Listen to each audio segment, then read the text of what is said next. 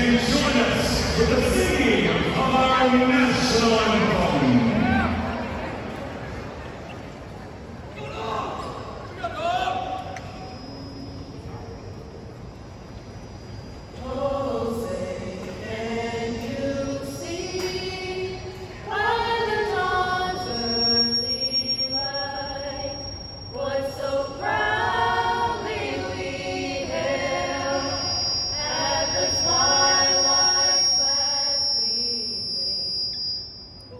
Bright stripes and stars.